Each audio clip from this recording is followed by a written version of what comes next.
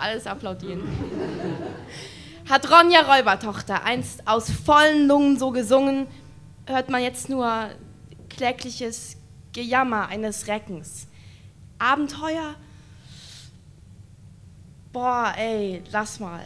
Aus der Abstellkammer des Schreckens, die einst ein Palast war. Der Seewolf verkaufte seinen Siebenmaster für einen warmen Kasten Astra.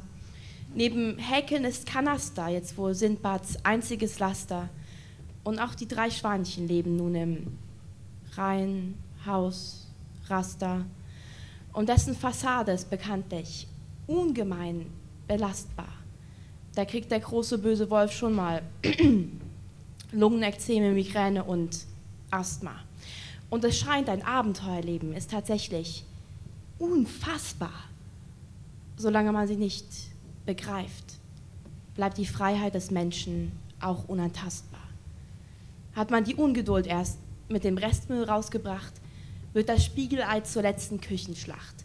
Denn neben von nächtlich erlesenen Thesen am Tresen genesen ist meist als Fazit tags drauf nicht viel übrig gewesen vom Ort, wo all-inclusive verflucht ist und nur ausgebucht ist, was ausgesucht, verrucht ist.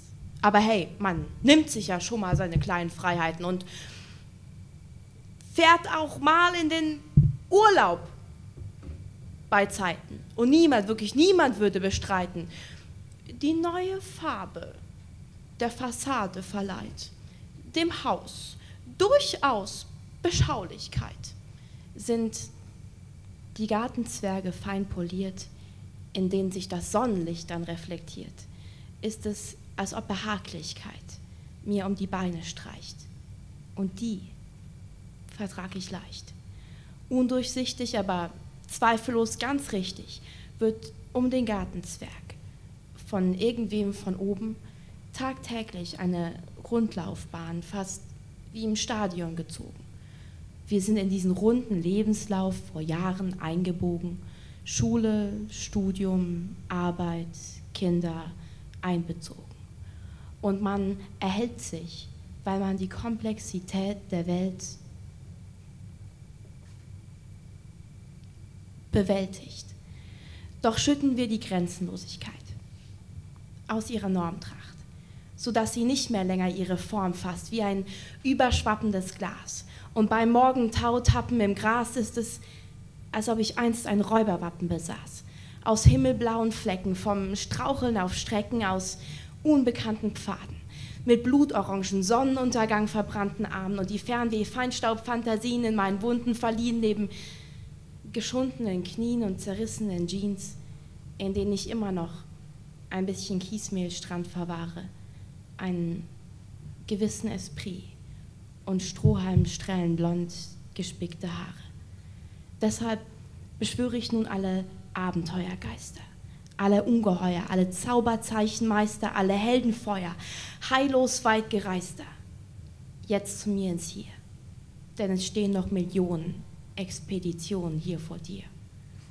Also lasst uns nur ein halbleeres Glas wieder voll trinken, beim Regentauchgang in Pfützen versinken, mal eben im Klang von Narrenkappenschellen Kaffee an der Durchreiche zum Himmel bestellen, beim Baumwipfel wandern, die Schuhe verschenken, in Wasserfall duschen, den Zweifel ertränken, in Autobahngärten, Verkehrsinsel campen beim Dachrinngolf einen Touchdown versenken.